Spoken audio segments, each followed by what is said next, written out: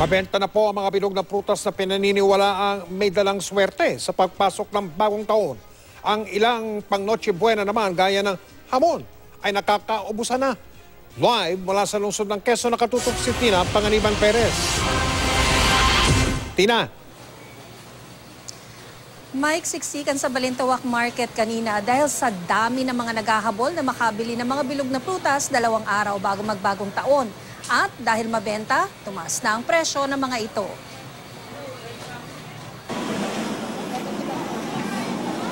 ₱2,000 pesos ang budget ni Anabelita Sanchez para sa 13 bilog na prutas na bibili niya sa Balintawak Market. Hindi raw ito nawawala sa kanilang medianoche dahil naniniwala siyang swerte ang dala ng mga bilog na prutas. Eh, talagang laging kinukumpleto ko po yan. Nag-work Oo, sa na- inyo? Opo. Okay ang trabaho, good. And health. Pero si Laila Tino na nagtitinda ng gulay sa Balintawak Market, hindi naniniwala sa mga pamahiin. Eh kahit na kung makumpleto mo yung prutas, di ba? Kung hindi ka rin na makikilos, wala rin mangyayari. Dahil man sa pamahiin o hindi, ang mga bilog na prutas, mabentang mabenta ngayon.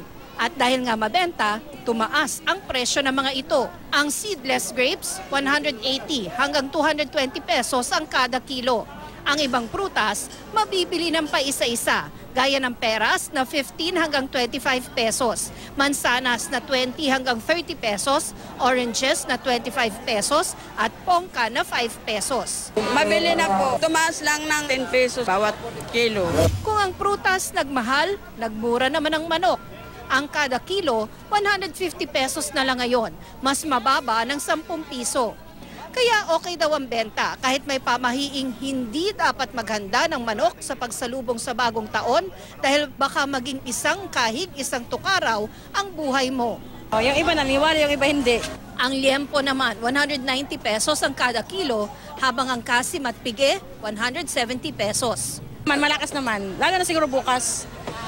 Oh, kasi ngayon medyo ang iba kasi, ngayon namimili kasi bukas masikip na. May ilan namang sa supermarket na mimili, pero sa supermarket na ito, nagkaubusan ng hamon at keso de bola. As expected, ASF dapat takot ang tao sa lechon, sa baboy, sa hamon, pero naubos pa rin. Hindi naman nagbago ang presyo ng spaghetti noodles, fruit cocktail at all-purpose cream. Mabenta rin ng mga alak.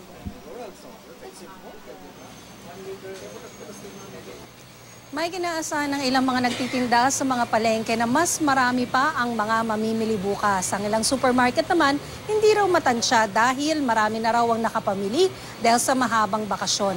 Dito naman sa supermarket na ito sa Quezon City, mangilan-ngilan ang mga namimili. Happy New Year, Mike! Happy New Year. Maraming salamat. Tina Panganiban Perez.